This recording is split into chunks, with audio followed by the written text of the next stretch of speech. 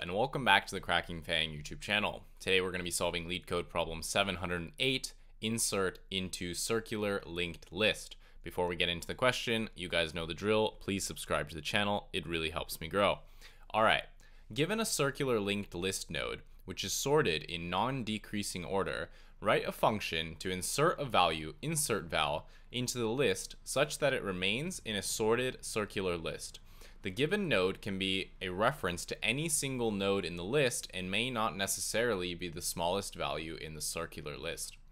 If there are multiple suitable places for insertion, you may choose any place to insert the new value. After the insertion, the, sorted, the circular sorted, the circular list should remain sorted. If the list is empty, i.e. the given node is null, you should create a new singular a new singular circular list, geez, try saying that five times, and return the reference to that single node. Otherwise, you should return the originally given node.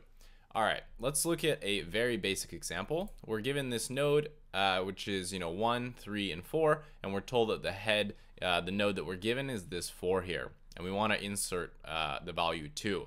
So obviously, in order to maintain the, you know, sorted order, the circular um, insertion should happen here, and that way it's going to remain sorted. So now we'd have something like 1 to 2 to 3 to 4 and we maintain our you know sorted circular array here. So and you know this is still the head. So relatively simple. I mean if we're looking at a kind of diagram it's very easy to figure out where to put this but there are a few edge cases that we need to consider so in order to do that, I'm actually going to wipe away a lot of this text to give us some more space to work with. And we'll talk about all the possible insertions and how we can navigate them. And then we will go to the code editor and write the code. This question is not that complicated. All right, let's think about all the possible ways that we can insert this node. So we read the question prompt and I told you that there's a few cases that we need to consider and let's kind of enumerate them now. The first case and is going to be the most simple case where the head that we're given uh, is null, right? So in the case that head is null, all we have to do is just create a new node. Uh, you know, we'll just create a new node and then return that, right? That's our answer, right? We just have to create it and then link it to itself, right? So we kind of have like a cycle here in the node itself. That's the most simple case, easy peasy, right? The second case is that uh, we insert somewhere inside of it, right? Insert into the linked list. So, you know, this, if we go back to our example where we had one, um, and then I think it was like three, and then four, right? We had the linked list like this, and we were asked to insert two, right? So we would insert it basically between one and two. So we basically find the point where it would go into and you know this is basically just going to be a point where you know we have a gap here that we can insert it into. So that's you know the, the second case where we basically found a point where the previous value in the linked list is less than the insertion value uh, and it's also less than the next value in the linked list right? So in this case uh, you know, if we were at three, or I guess it would be the current value, sorry, because there is no next one. So, you know, if we're at the node three, and then we'd say, okay, what was the previous value? It was one, and two can slot in there, so we can insert it. And there we go, that's fine. So that's the second one. And then the third case is going to be one of the more complicated cases, uh, and kind of let's redraw our, um, you know, diagram here. And we have these three nodes, and it's linked like this, right? And in the more complicated case, the insertion is going to happen at the end, right? So if we're asked to insert the 9, then we would have to insert it, you know, between the 1 and the 4. So we need to account for that. Because if we're just looking for a case like this, we're going to miss it, right? This is the easy insertion, but what happens when it happens at the edge, right? Or if we want to insert 0 into here, right? It would still happen between the 4 and the 1, but we can't look for this check here. So we need to check whether or not we're actually at the end. And remember, since the list is given to us sorted, we know we're at the end because our current value compared to the next value will always be greater, right? That's the point where our linked list drops off and becomes circular, right? So the one is basically the smallest element and the 4 is the greatest element. When we see that drop off, so basically the cur value is greater than the next value in the linked list, then we know that we've actually hit the end and now we've wrapped around to the smallest value and our current value is actually the largest one. So in the case where we wanted to insert the 9, we would have to say, okay, 4 points to the 9 and then all the 9 points to the 1. Or in the opposite case, the same way we could point to the 0, which now points to the 1, uh, and then, you know, continuing onwards uh, for both cases. So those are your three cases. So this is um, edge insertion, uh, edge insertion. So those are the three cases that we want to take care of, right? The first is that the head is actually um, null. The the second one is just like a standard insertion into the linked list. This is really easy. We just look for a point where the previous value is less than the insertion value, which is less than whatever our current node's value is. That one's also quite easy. The third case is going to be the edge insertion.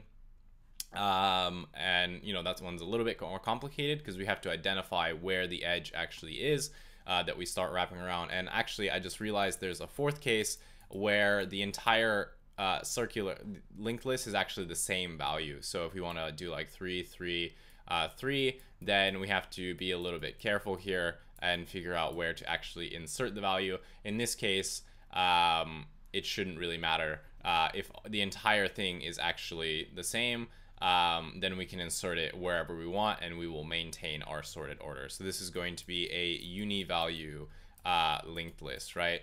Where all the elements are the same, it doesn't matter. So if we're asked to insert two, we could insert it here and that would be fine. We could insert it here, that could be fine. It doesn't matter. Uh, wherever we insert it, we will maintain our uh, sorted order. So we don't have to worry about if it's uni value, we can just put that element wherever we want.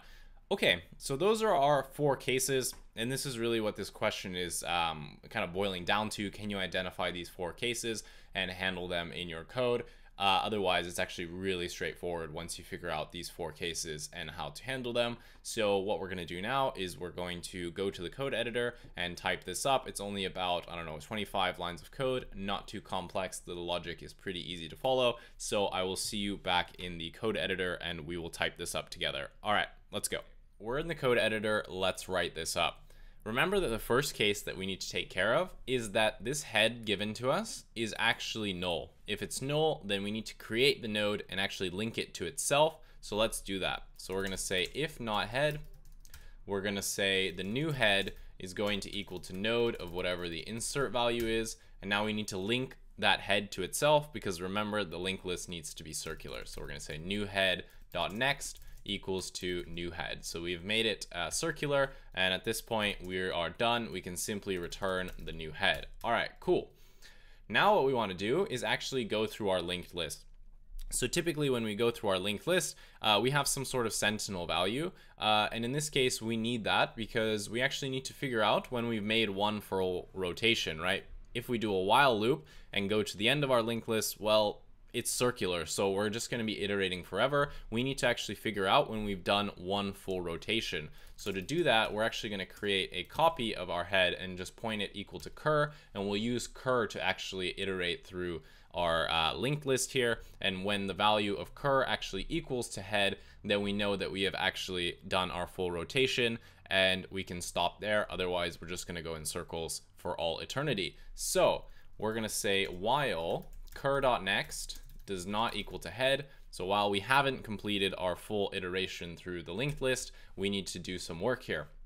So the first case we want to take care of is the actual insertion, right?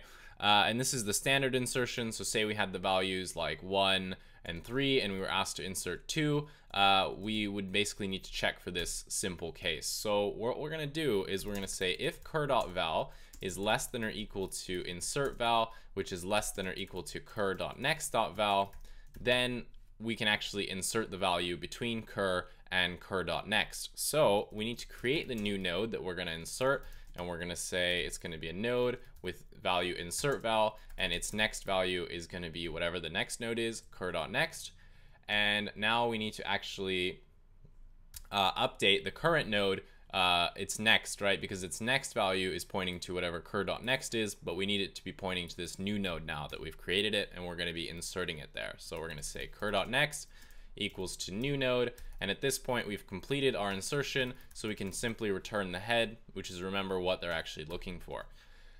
All right, now we have the other case where we need to handle what happens at the edge of our um, linked list and whether or not we need to insert something there. So remember that we know that we're at the edge if the current value of our node is actually greater than cur.next.val, right? Because it's circular, therefore when we hit the end of it, the next node is going to be the smallest node, and since it's in sorted order, if we ever get to a point where a current node's value is greater than the next node, that means that we've hit that cliff and we've gone over it. So we have basically gone back to the beginning. So we do that by checking whether or not the current value is greater than the next value.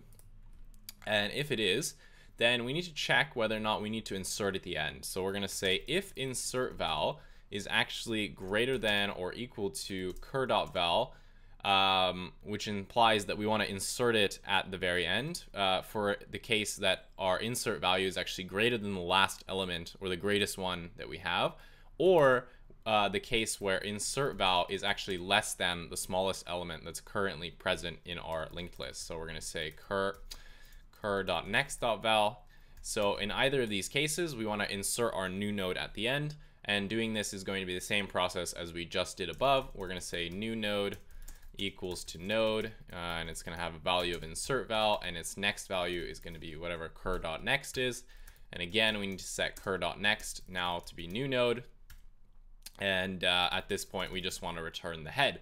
Cool. So if neither of these uh, statements fires here, whoops, I think this actually needs to be indented. Yeah, there we go. Okay, cool. Um, if neither of these uh, triggers, then, well, even if they trigger, uh, actually, no, we, we would return head here. So if neither of them trigger, we need to move on to the next element in our uh, linked list. So we're going to say cur equals to cur.next, and we're going to move our iteration forward. All right, so either we're going to return in here or we're not. And what it means if we haven't returned anything in the actual uh, process of our while loop is case number four, in which case all of the values in our um, linked lists are actually the same. In this case, we can literally insert that new node anywhere and we'll maintain our sorted order because the entire thing is uni value, right? So it doesn't matter if we have all threes and we're asked to insert a two, we can put it here, we can put it here, we can put it, you know, here, we can put it here, it doesn't matter um, because that will basically be the new smallest element and it's going to be fine. So if it's all the same value, we can insert that node anywhere, which is what we're going to do now. Uh, okay, so let's make sure I'm indented correctly here. And we're going to, again, say new node is going to be node of insert val. And then we're going to set the next one as cur.next. And remember that cur.next now equals to new node.